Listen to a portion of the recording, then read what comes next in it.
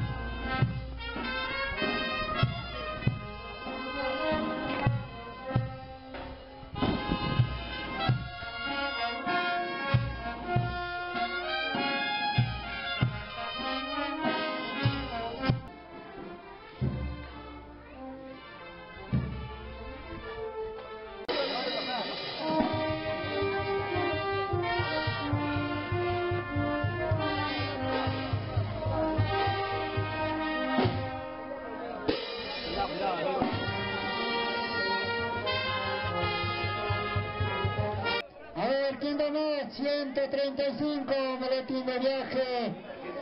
135. 410. 450. A ver, estamos en 450. 450.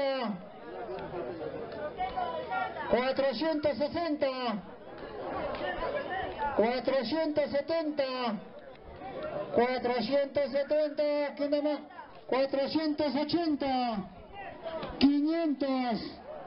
Estamos en 500. 510. Estamos en 510. ¿Quién más? 550. 560. 600. 600. 610. 650. 660. 700. Estamos en 700. A la una. 710. 150. 760. Estamos en 70 mil. Mil. Mil. Mil soles. Mil soles.